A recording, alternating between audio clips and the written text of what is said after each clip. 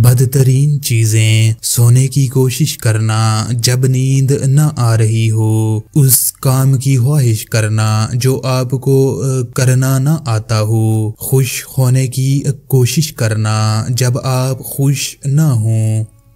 तलख मगर हकीकत अगर आपकी बहस किसी बदतमीज शख्स के साथ हो जाए तो चुपचाप हार मान लें, यानी खामोशी अख्तियार कर लें, क्योंकि आपकी बात आवाज़ कितनी ही दमदार क्यों ना हो। लेकिन आप एक कुत्ते से अच्छा नहीं भोंक सकते।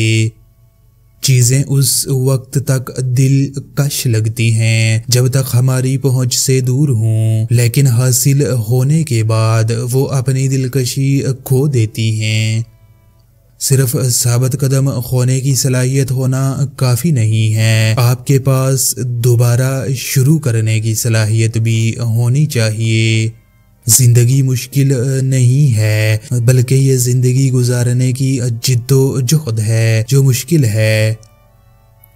अपने नसीब पे कभी अल्लाह से शिकवा नहीं करना, क्योंकि तुम इतने अक्लमंद नहीं कि अल्लाह के राज समझ सको।